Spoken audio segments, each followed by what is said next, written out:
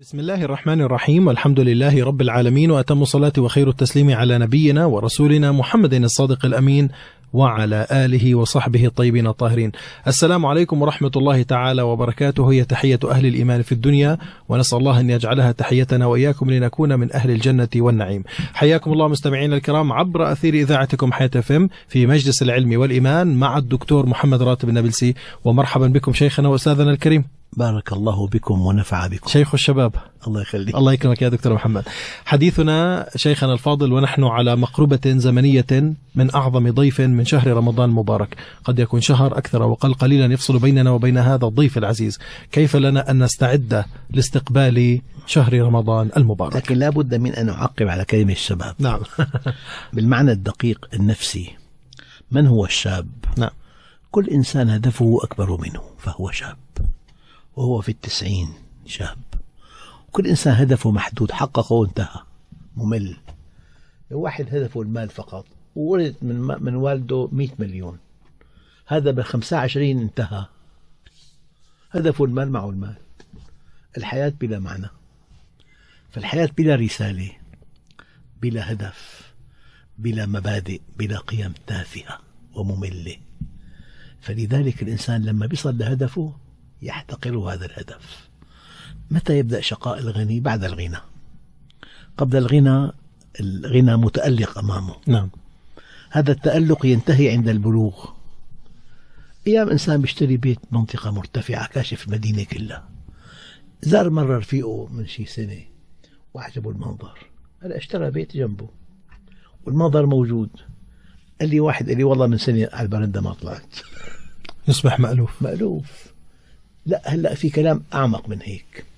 رحمة رحمة الله بنا أن لم يجعل لهذه الدنيا نتائج مستمرة بل متناقصة. إذا في لذة اللذة متناقصة. هي تظهر بمليون شيء. شراء سيارة بعد أسبوعين عادية جدا. شراء بيت ارتقاء منصب. يعني أي شيء في له طموح الإنسان. ويسعد به قبل بلوغه. يتألق أمامه. نعم. فإذا بلغه انتهى. فلذلك المؤمن غير المؤمن نعم. يشقى في الدنيا. أما لما الدنيا للمؤمن طريق الجنة صار شيء آخر. قال ويدخلهم الجنة عرفها لهم في الدنيا ذاقوا طعمها. لذلك المؤمن في جنة إنها جنة القرب. ولمن خاف مقام ربه جنتان. جنة في الدنيا هي جنة القرب يا سلام. وجنة في الآخرة. الله يفتح عليك لذلك قال لو يعلم الملوك ما نحن عليه لقاتلونا عليها بالسيوف. قال ابن تيمية ماذا يفعل أعدائي بي؟ بستاني في صدري. إن أبعدوني فإبعادي سياحة. إن حبسوني فحبسي خلوة.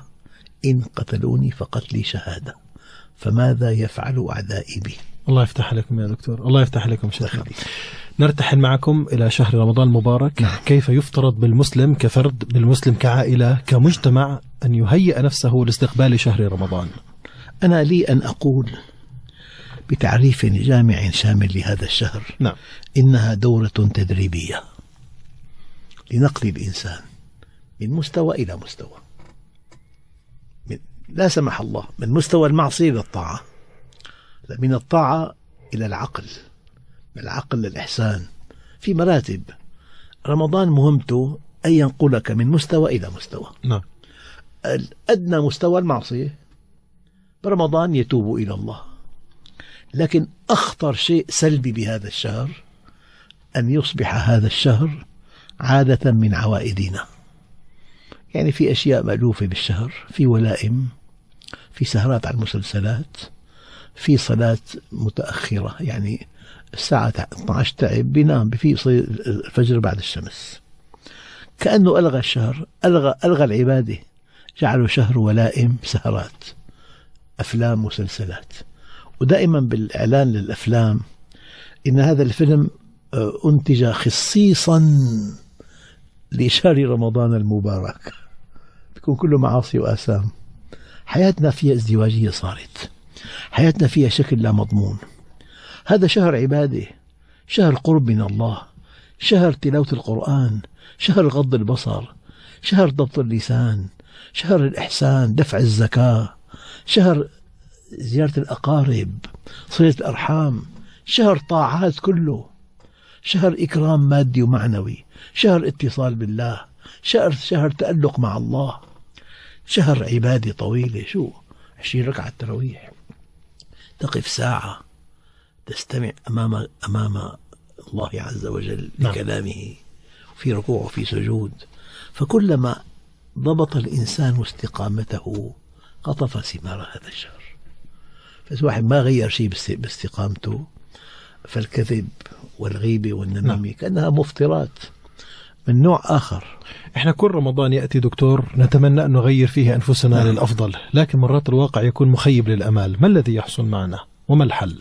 أنا بقول كلمة سيدي هلا نحن مثلا برمضان طلعنا درجة شوف انتهى رمضان نزلنا الدرجة ما استفدنا شيء والمفروض هلا طلعت درجة الثانية درجة ثانية شوف نعم. أنا عم بطلع هيك. نعم. فكل مرة قفزت قفزة نوعية. هالمرة بالاستقامة. كان ما في غض بصر صار في غض بصر قوي. كان في صلوات أيام تفوتني. صلوات متقنة وفي أوقاتها. كان في جلسات لا ترضي الله غيبة ونميمة كلها تركتها. فالإنسان كلما استقام اقترب من الواحد الديان. فكأنه شهر رمضان دورة تدريبية على إحكام الاستقامة مبدئيا ثم إحكام الصلة بالله ثانيا. هذا رمضان. بعدين في تراكم سيدي. في عشر أول عشر ثاني عشر ثالث. كل مرحلة تنتقل من مرحلة لمرحلة هون صار في ألفة مع الصلاة. هون صار في خشوع. هون في إقبال. شلون. فالإنسان كلما ازداد قربا من الله ازداد تألقا. نعم. هلا بيجي العيد شو العيد؟ في فهم للعيد مضحك إنه أكلنا حلويات لبسنا جديد. العيد عودة إلى الله. العيد حقيقته عودة إلى الله. لذلك وليكبروا الله على ما هداهم. الله أكبر وين كنت أنا؟ كل هالقرب كل هالسعادة بالقرب وين كنت؟ وين كنت بضوع وقتي كله؟ هي الله أكبر تكبير الدهشة. كل هالسعادة بهالصيام كل هالطهر والعفاف بهالصيام كل غض البصر بهالصيام. الله يفتح عليك يا دكتور. هل يفترض أن يبدأ التغيير مع بدء شهر رمضان. يعني أنا مثلا لا أصلي أو أقصر في حقوق الله. أنا ناوي بواحد رمضان أن أتغير. هل يفترض أن يبدأ هناك تغيير أم الآن دكتور؟ والله أنا ما عندي إمكانية صدق النقلة الفجائية نقلة فجائية نوعية. نعم. أنا مؤمن بالتدريج لما أنت بشهر مثلا شعبان بتحاول ما تقعد بجلسة ما بترضي الله عز وجل. نعم. هيئ نفسك إلى إلى حاضنة إيمانية. هيئ نفسك بغض بصر مقبول عند الله عز وجل بضبط لسان بضبط سمع في أغاني في أشياء كثيرة. في ضبط اللسان ضبط العين ضبط الأذن. هلأ ضبط اليد ما في مصافحة لامرأة لا تحل لك مثلا. لك بيت اعتني ببيتك اعتني بزوجتك هي حلالك هي. فأنت لما بتعمل محاولة تغيير تغيير وإن الله لا يغير ما بقوم حتى يغيروا ما بأنفسهم. يعني كأنه رمضان يختصر بالتغيير. تغيير نحو الأحسن. ومن مستوى إلى مستوى. من تفلت إلى عبادة. من عبادة إلى إقبال. نعم. من إقبال إلى تألق إلى تقوى. إذا من الآن يفترض من الإنسان أن يهيئ نفسه وأن يحضر نفسه لاستقبال رمضان. لأنه حينما ينتظر رمضان أن يأتي فيبدأ يعني معه. مالي من أنصار مم. إسلام مناسبات. مهم. يعني إحنا نذكر الأم بعيد الأم شو هي؟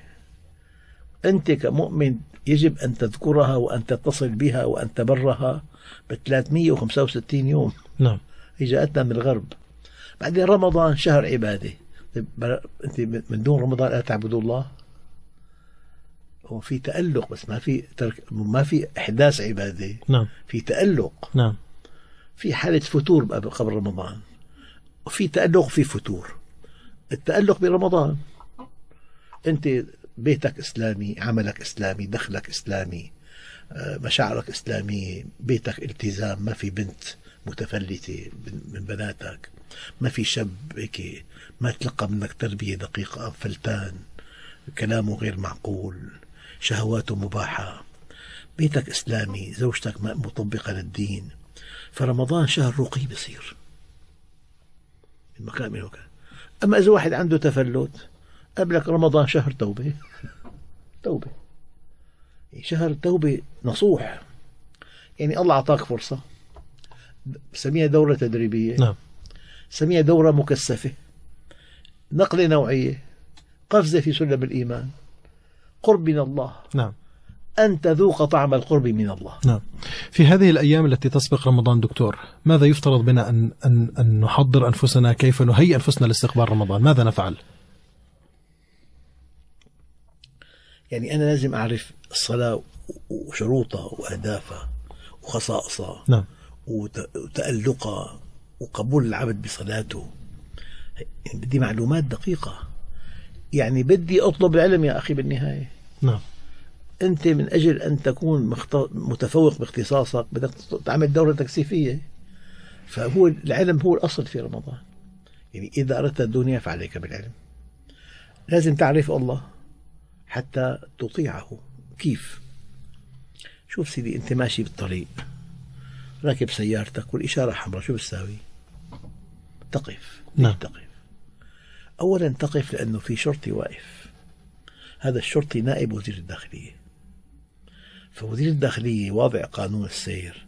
علمه يطولك من خلال هالشرطيات. وقدرته تطولك. تسحب الإجازة منك. تحجز المركبة. فأنت لما عندك يقين قطعي أن واضع قانون السير علمه يطولك وقدرته تطولك لا يمكن أن تعصيه. ما بتقدر. أنت مع مين؟ مع وزير الداخلية؟ مع بشر؟ لأنه واضع بكل مفرق شرطي سير. نعم. عند تقاطعات شرطي سير. وأنت مواطن عادي من الدرجة الخامسة. وهذا الشرطي بيقدر يكتبك مخالفة. ويدفعك مبلغ كبير. لأنه أنت شايف هالوزير علمه يطولك وقدرته تطولك. افتح القرآن سيدي. الله الذي خلق سبع سماوات ومن الأرض مثلهن يتنزل الأمر بينهن لتعلموا. نعم. نقطين الأمر القرآن كله الوحي كله لتعلموا. نقطين أن الله على كل شيء قدير وأن الله قد أحاط بكل شيء علما. أنت حينما تعلم أن علم الله يطولك وأن قدرته تطولك لا يمكن أن تعصيه. للآخير سيدي. نعم. هذا شهر رمضان سيدي. أن ترى يد الله تعمل وحدها أن توحد أن ترى رحمة الله في الخلق أن ترى المهمة التي أنت مكلف بها أن تؤمن بالآخرة. لك كلمة ثانية؟ سيدي إذا واحد زار طبيب والطبيب وصف له وصفة. هو ذكاء عنده ذكاء اجتماعي. فصافح الطبيب وشكروا على عنايته البالغة وشكروا على اهتمامه وشكروا على الدواء اللي وصف له إياه لكن ما اشترى الدواء إطلاقا. أنه ما له قنعان بأعماقه من علم الطبيب. هذا مو مختص طلع. بدك طبيب مختص بالقلب طلع طبيب هضم. لأنك ما اشتريت الدواء ما لك قنعان بالطبيب هذا اسمه التكذيب العملي هو الخطير. ما في ما في عندنا بكل العالم الإسلامي من يقول الله مو موجود إلا قله قليله من الملحدين. ما في يقول ما في جنة. العالم الإسلامي ما في تكذيب لفظي في تكذيب عملي. اللي عم يحط أمواله بالبنوك ويأخذ أرباح طائلة مطولة. هو بيصلي وفي يمحق الله الربا. ما له قبضه كله. نعم. فأنت مقدار إيمانك بالنص مقدار تطبيقه فقط. وما آمن بالقرآن من استحل محارمه. ما آمن بالقرآن من استحل محارمه. فلما الإنسان بيعرف الله المعرفة التي تحمله على طاعة الله هي المعرفة تحمله وأي معرفة. لا تحمل على طاعة الله لا قيمة لها. الله يفتح عليكم يا دكتور. نعم. أن إبليس قال له ربي فبعزتك وهو إبليس اللعين. سبحان الله. الله يفتح عليكم يا دكتور. أستاذن فضيلتكم شيخنا ومستمعينا نقف نعم. إلى فاصل قصير ونعود بعد ذلك مع الدكتور محمد راتب النبيل لنتم حلقتنا. وحديثنا تحت عنوان الاستعداد لاستقبال شهر رمضان. فابقوا معنا.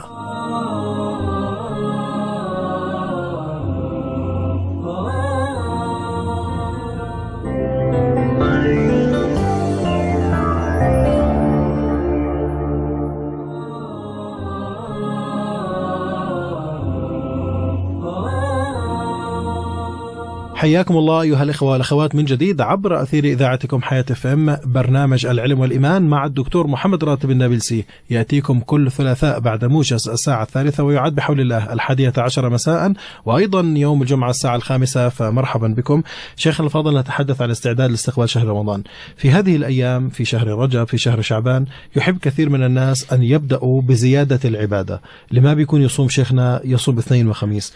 من لا يقيم الليل يبدأ من الآن شيئا فشيء بقيامه الليل حتى يهيئوا أنفسهم ل يعني عبادة زائدة في رمضان نعم. هل تنصح فضيلتك بذلك ولا يرتاح الإنسان بهذا. قبل رمضان أنصح بهذا نعم لكن لا يبالغ ليكون لرمضان بهجة نوضحها سيدنا حتى يعني نفهم إذا كان. إحنا عملنا كل يوم قيام ليل 20 ركعة مثلا نعم. رمضان 20 ركعة كمان فما عاد صار- صار في به...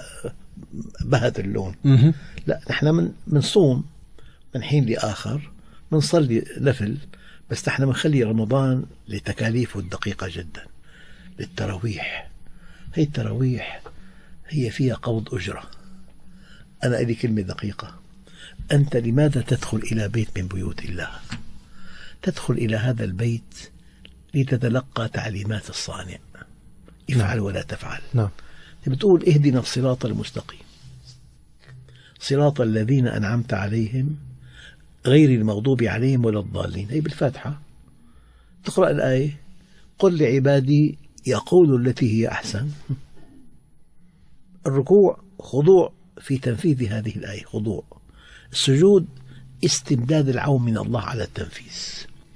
الخضوع ركوع الركوع عفوا خضوع والسجود طلب المعونة. فأنت مع كل آية بالصلاة لها ركوعها خاص. ولها سجودها الخاص. وقد ورد في الأثر لكل آية في الصلاة حظها من الركوع والسجود. فأنت صليت. كلما أتقنت هذه الصلاة جعلت نفسك في راحة كبيرة. ولا خير في دين لا صلاة فيه. ما في دين سماوي إذا في صلاة. أنت ضعيف عاجز فقير خائف. الصلاة بتقويك.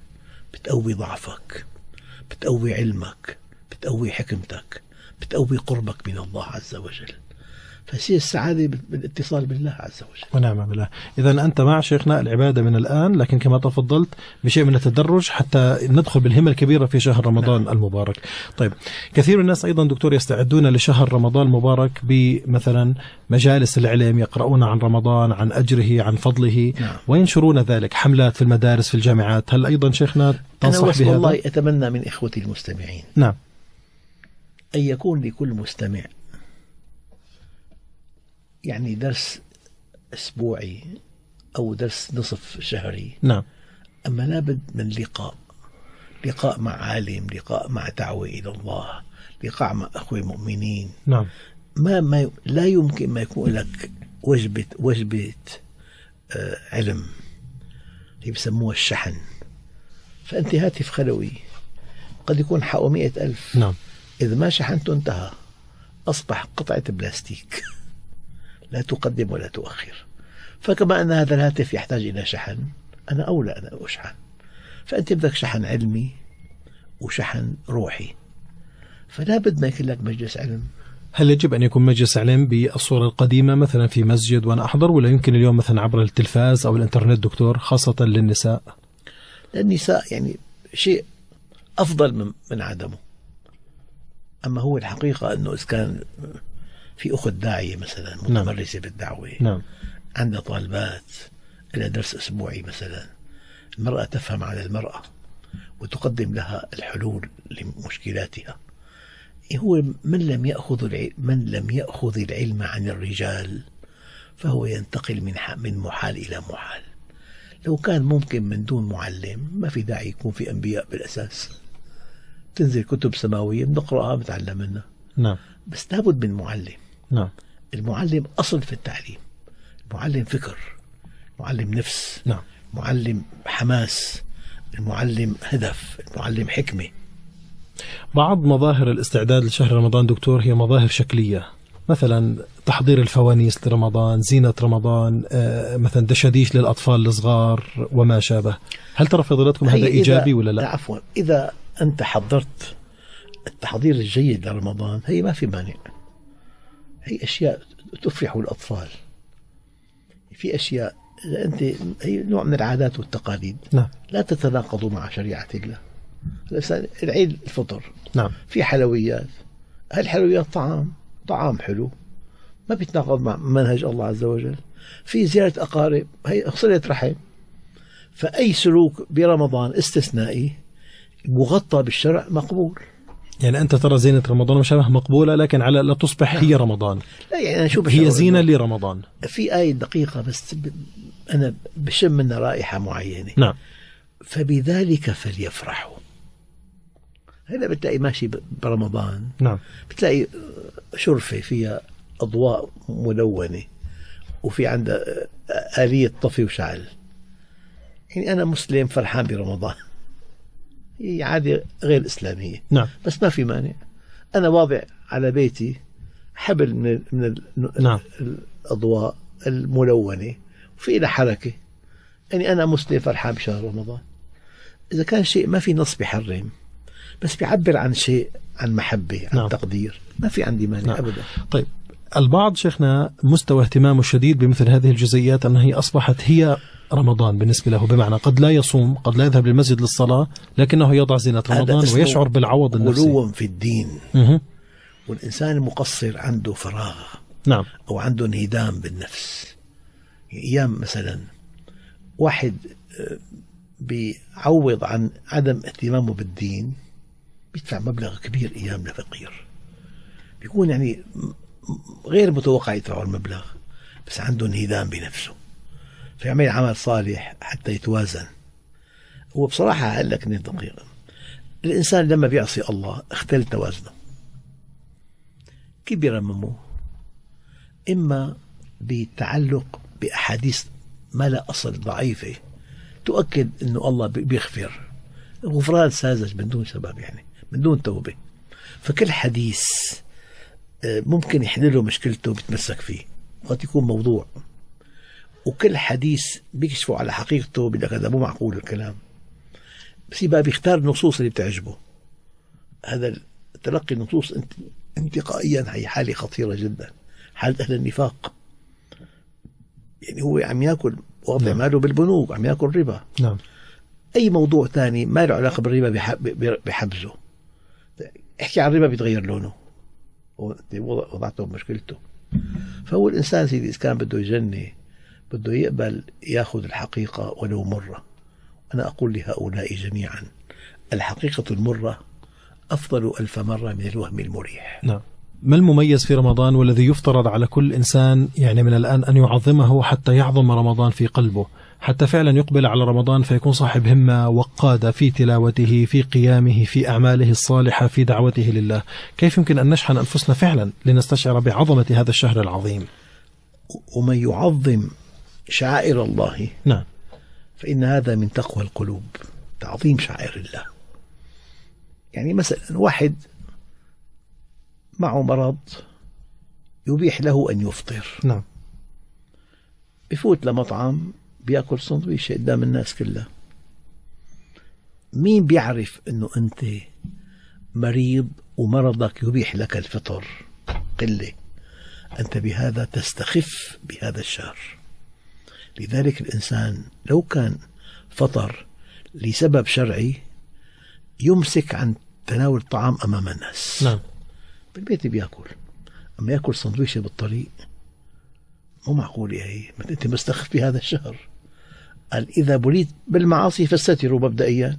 إذا أنت مضطر تفطر لسبب صحي معين لازم ما تأكل قدام الناس هذا من الادب بشهر رمضان. نعم نعم. وأيام بيكون لقاء ما بيرضي الله عز وجل لقاء مختلط ونساء كاسيات عاريات وانت صايم ما بتزبط هي. إطلاق البصر في في له إشكال برمضان نعم. وبغير رمضان أساسا نعم. طيب شيخنا انشغالات الناس كثيرة هذه الأيام. جامعات بأوقات طويلة دوام بساعات طويلة. كيف يمكن لنا أن نوفق بينها وبين يعني حقوق الله والعبادة في شهر رمضان؟ من الآن تحضيرا وفي رمضان أنا عبادة. أنا أرى أنه لا لا يصعب م. عن طريق تنظيم الوقت من أداء الواجبات بكل أنواعها نعم. يعني واحد له زوجة لها الحق عليه أن يجلس معها باليوم نعم. عشرين دقيقة نصف ساعة فقط. والأولاد. بده يقعد معهم. وجبة طعام واحدة. هو شو حكى الأستاذ اليوم؟ الفجر صليته اليوم إن شاء الله. الله يرضى عليك. شلون علاماتك؟ بدك جلسة مع أولادك وجلسة مع زوجتك. هلا لك أم بدك تزورها باليوم يوم يوم لا مثلا أو كل يوم. فهو الحقيقة آه، أداء جميع الواجبات. هو الكمال. إحنا كنا نظن إنه بكفي تنجح بشيء واحد.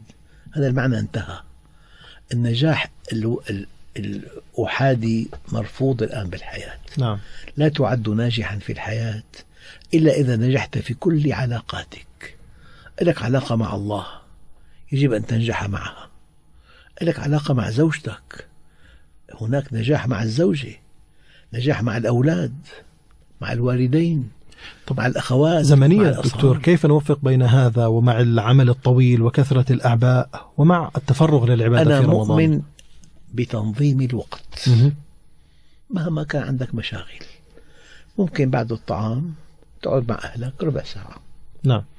ممكن تتلقى العلم من خلال يعني درس بجامع. شيء نصف ساعة باليوم. أنا كنت أعمل بالشام. درس بعد التراويح 20 دقيقة فقط. بس 30 درس مركزين جدا. دخل للجامع وطلع بمنهج. نعم. فأنا عرفان الوقت صار صعب كثير وفي ازدحام شديد. وعرفان أيضا أنه الآن كل شيء طويل ممل. أنا عندي أطول درس أطول درس برمضان 20 دقيقة. بيعود الإنسان بعد التراويح. عرفان معه بس 20 دقيقة. ما عنده قلق أنه يكون مفتوح الوقت. وأنا أرفض يكون الوقت مفتوح. مفتوح واحد عنده موعد مع مريض واحد طبيب مريض يزوره بعد نعم. التراويح. التراويح إلى وقت محدد. يجب أن تنتهي كل يوم بوقتها المحدد. نظمت وقت المصلين. هلأ ممكن تقرأ برمضان مش تقرأ ختمة. ختمة يعني باليوم عندك بتقعد شيء ساعة ونص تقريبا. في شيء فوق طاقة الناس. ممكن يكون ثمان ركعات مو 20 ركعة. ما في مشكلة ما في مشكلة أبدا. بس العبادة لا تترك لكن تخفض من مستوى شاق صعب وقت فيه تفرغ واحد متقاعد ما عنده شيء مثلا. في طالب جامعة أستاذ جامعة في عنده محاضرات ثاني يوم. يعني في واحد والدليل في دليل قرآني دقيق. فإذا فرغت فانصب. فانصب للعبادة. معنى كان في كنت مشغول. معه ابنه التهاب سحايا وما قلق عليه قلق مذهل. مشغول بمعالجة ابنه. من مستشفى لمستشفى بده تحليل بده إيكو بده تصوير بده تحليل دم. الله يفتح عليك. فإذا فرغت فانصب. نعم. الايه كثير كثير مريحة. نعم. نعم الله يفتح عليكم دكتور. أيضا نستأذن فضيلتكم شيخنا ومستمعينا الكرام أن نقف إلى فاصل ونعود بعد ذلك معا لنكمل عبر أثير حياة في حلقتنا مع الدكتور محمد راتب النابلسي وحديثنا فيها مسترسل تحت عنوان الاستعداد لاستقبال شهر رمضان. فاصل قصير ونعود مستمعينا بحول الله فابقوا معنا.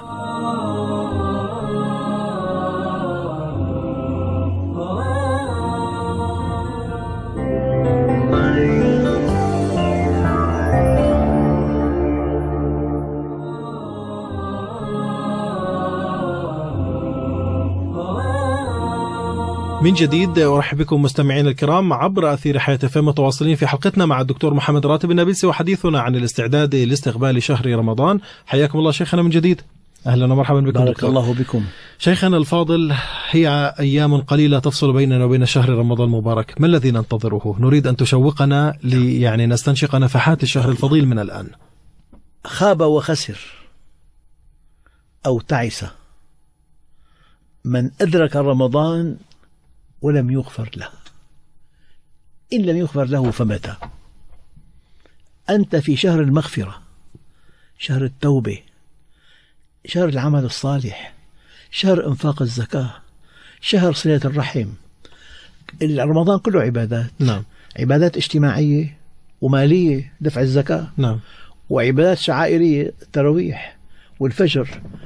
أنا أول شيء بتمنى العادات والتقاليد التي تتناقض مع هذا الشهر أن نبتعد عنها. مثل ماذا دكتور؟ شهر الولائم كل يوم في إفطار عند واحد. طبعا الأهل بيتحضروا الطعام من يومين سابقا. نعم. وبيتاكل الأكل بعدين بيعدوا والحديث غير منضبط. لا في خوف من غيبة ولا نميمة ولا تعليق والتلفزيون مفتوح على أفلام. بيتموا هيك لحتى الساعة 12 وحدة بيتعبوا بيناموا. ما بيلحقوا السحور والسحور بركة والسحور من شعائر هذا الشهر العظيم. فإذا كان نحن اكتفينا بترك الطعام والشراب هذا الصيام لا يقدم ولا يؤخر وكأنه ما صام. من يقول لك دكتور مثل هاي العزائم هي من باب تفطير الصائم وهذا له أجر في رمضان، أنت شيخنا مش مع العزائم برمضان؟ لا والله أنا مع عزائم طلاب العلم. أنا بعمل لطلاب العزائم.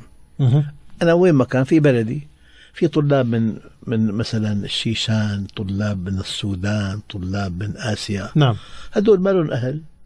أنا آه. أجري ولائم برمضان لطلاب العلم بالجامع بعملها فلما بيعدوا أيام للمحسنين نعم. دعوة أيام للأطباء دعوة أنا هكذا أفعل في رمضان. ولائم.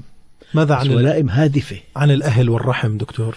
والله ال- رمضان لصلة الرحم. بس شو بصير؟ ممكن زورهم بالعصر تقريبا. في عندك وقت وقت محرج وانت جائع. وما قدران تنام من الجوع مثلا إذا كان شهر يوم طويل. فأنت من العصر للمغرب ممكن تعمل تطلع على أخواتك البنات على خالتك على عمتك تعمل صلة رحم برمضان. نعم. هذا نعم. نعم. لكن فكرة كما تفضلت أنه الإنسان يعني يقضيها يا يا يعزم أحدا و- أو يعزم عند الآخرين ولا السيدات يصوم يعني يتعبد ما في ولا ما في انضباط إطلاقا. يتفرغ للعبادة شهر وقته ولا ويذهب. في شهر اجتماعي صار. نعم. ما عاد تعبد. نعم. طيب ما تعليق فضلاتكم أيضا دكتور على ما يشاع الآن في رمضان زي الخيم الرمضانية وسهرات فيها أرجيلي فيها لعب شدة فيها أرجيلة ورعب شدة وراقصة في كمان سيدي. أكيد عندك بلبنان في راقصة. نعم. راقصة وأرجيلة ولعب شدة وطاولة شيش بيش. نعم. هو صايم. شيء بضحك سيدي. هذا الدين لما بصير فولكلور هذا إسلام فولكلوري. صار عادات وتقاليد وما له علاقة بالدين إطلاقا. مه. يعني صلي قبل أن لا تصلي. أقيس عليه وصم قبل أن لا تصوم. نعم. بدك حاضنة إيمانية بصراحة. بدك رفقاء مؤمنون بدك أسرة مؤمنة بدك أقرباء مؤمنون. طيب. لما أنت بتصاحب برمضان شخص متفلت أها. بزهدك بالشهر بفرجيك أنه أنت غلطان. ال- الطعام والشراب شيء أساسي بالحياة. نعم. شو حيصير؟ افطار نعم. أعرف شخص يمكن قلت لك إياها باللقاء السابق أنه هو شارب خمر نعم. مدمن نعم. إتاب رد على الشرب بعد منه. نعم. شيخنا الفاضل هل في آه، آه، مثلا خطة مقترحة أو جدول مقترح للعبادات يمكن فعلا أن يعين الإنسان أولاً أن يستغل الشهر الفضيل أتمنى من أعماق أعماقي أن تختم القرآن في رمضان. هي قراءة سمية تعبدية. مه. معنى كل يوم جزء بدك تقرأ نعم. ما بكفي. في قراءة بحث ودرس. بكفي آيتين. تتعمق بفهم آيتين. ثلاث آيات أربع آيات. كيف نفهمهم دكتور؟ من تفسير. من من قراءة تفسيرهم. تمام. العبد الفقير بيفتح موقعي القرآن كله مفسر الحمد لله. بتفصيل شديد جدا. الحمد لله. نعم. بتفهم القرآن؟ فإذا أنت قرأت قراءة تعبدية جزء كل يوم وكل يوم آيتين ثلاثة بس من الآيات المحكمات منهج للحياة. وتمت كلمة ربك صدقا وعدلا. يعني يا عبادي بيني وبينكم كلمتان. منكم الصدق ومني العدل. أي تتفاوتون عندي بصدقكم وأنا أعدل بينكم. بنحكى ساعة الآية هي. نعم.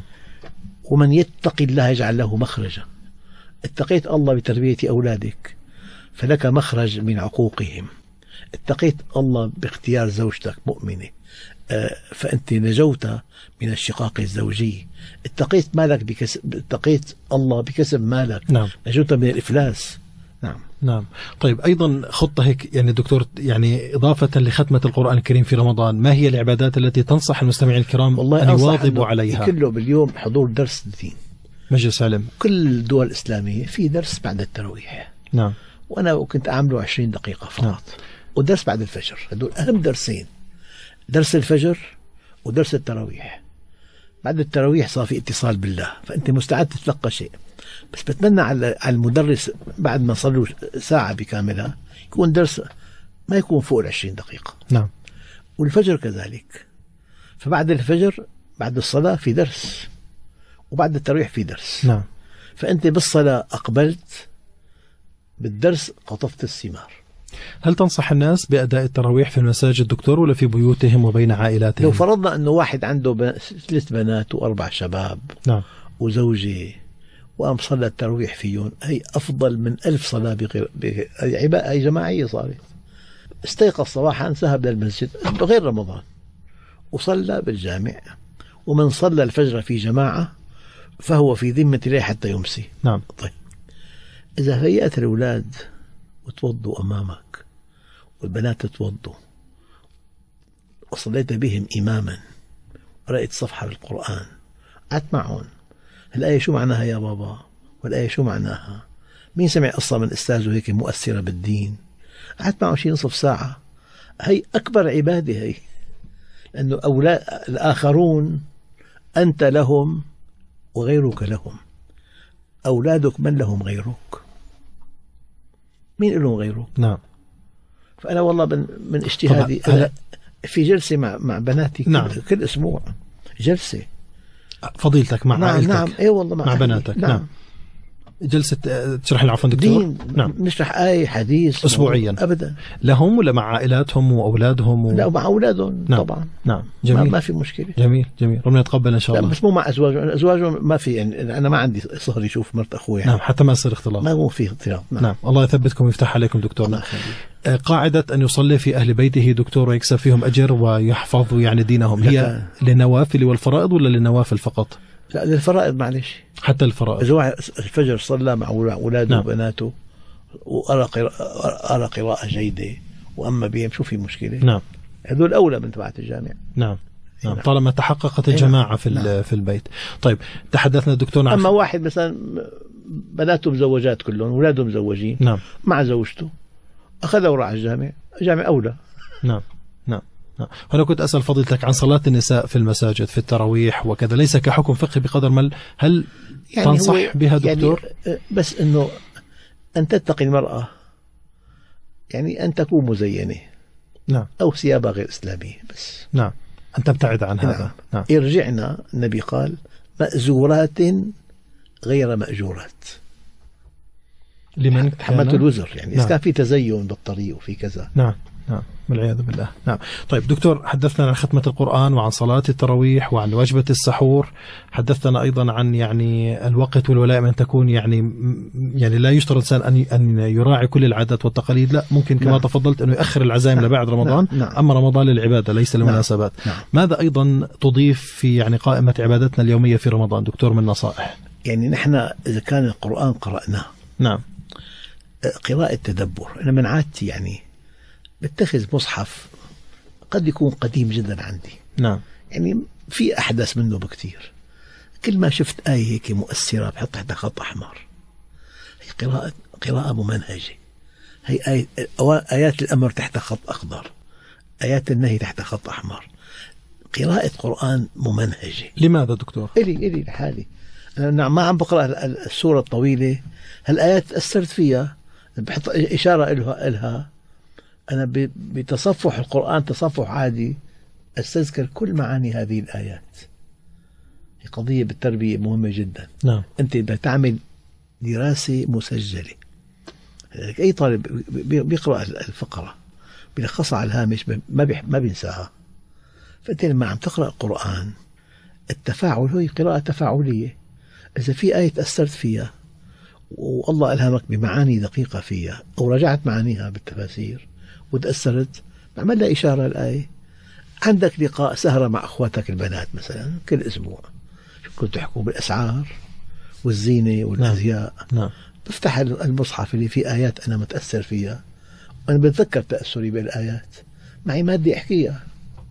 بقول لكل أخ مؤمن خلي معك مادة متأثر بها. سمعتها من عالم من خطيب مسجد قريتها بكتاب. كثير مؤثرة الآية تفسير الآية. أنا بكتبها عندي دفتر صغير قاعد بجلسة بفتح الدفتر بحكي الآية. هذا صار ذكر لله عز وجل. نعم. في العبادات دكتور ما الفرق بين نهار رمضان وبين ليله؟ يعني ما العبادات التي تنصح المستمعين لساعات الصيام والنهار والعبادات المسائية الليلية؟ والله النهار الصلوات الخمس نعم. فقط. نعم. أما لا ممكن الأوابين الضحى نعم. تصلى. نعم. نعم.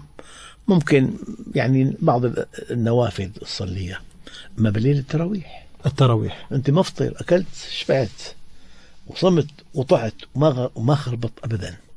أنت مستعد لتلقي التجلي من الله عز وجل. نعم. والتجلي هو كرم يتنزل من نعم، الله أبداً. على من يتعبد. أبدا. لكن ممكن تكون ثمان ركعات التراويح. نعم. ممكن أنا هون لاحظت الأردن كله ثمان ركعات تقريبا. كثير من مساجد الثمانية. نعم بعض المساجد العشرين. يعني. نعم. نعم نعم. وكل إنسان يعني يصلي نعم. ب- ب- ب- بطاقته. نعم. نعم.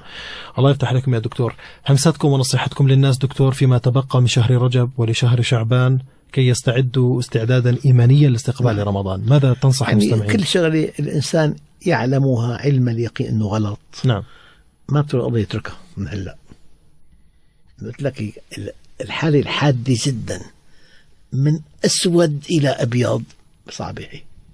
بدك تع- تعمل منطقة رمادي. بعدين بيجي بيجي الصيام المشرق. نعم الله يفتح لكم الله دكتور. يخلي لي هل لنا نختم لقاءنا هذا بدعاء؟ ونسأله أن يستجيب دعاءنا. اللهم أصلح لنا ديننا الذي هو عصمة أمرنا وأصلح لنا دنيانا التي فيها معاشنا وأصلح لنا آخرتنا التي إليها مردنا. واجعل الحياة زادا لنا من كل خير واجعل الموت راحة لنا من كل شر. مولانا رب العالمين اللهم اكفنا بحلالك عن حرامك وبطاعتك عن معصيتك وبفضلك عمن سواك. اللهم لا تؤمنا مكرك ولا تهتك عنا سترك ولا تنسنا ذكرك يا رب العالمين. اللهم اجعل هذا البلد آمنا سخيا رخيا وسائر بلاد المسلمين. واحقن دماء المسلمين في كل مكان واحقن دماءهم في الشام. وصلى الله على سيدنا محمد النبي الأمي وعلى آله وصحبه وسلم والحمد لله رب العالمين الفاتحة الحمد لله رب العالمين. بارك الله بكم شيخنا وأستاذنا الأستاذ الدكتور محمد راتب النبيل الداعي الإسلامي الكبير والمعروف. وحديثنا مستمعينا كان عن الاستعداد لاستقبال شهر رمضان وكما تفضل الدكتور جميل الإنسان أن يخلع ثوب الأخطاء والمعاصي من اليوم وأن يستعد نفسيا وإيمانيا ليستقبل هذا الشهر وأن ينتقل من سواد تلك الذنوب إلى بياض رمضان لكن أن يكون انتقالا تدريجيا حتى يتحقق التغيير بحول الله. وفي رمضان نسأل الله القبول والثبات على هذه العبادة. إلى هنا تنتهي حلقتنا مع الدكتور محمد راتب النبيلسي. كل ثلاثاء بعد موجز الثالثة يعاد بذات اليوم الحادية عشر مساء ويوم الجمعة الخامسة مساء. سبحانك اللهم وبحمدك. نشهد أن لا إله إلا أنت. نستغفرك ونتوب إليك. طيب الله أوقاتكم دائما بالخير على حياة اف إم. السلام عليكم.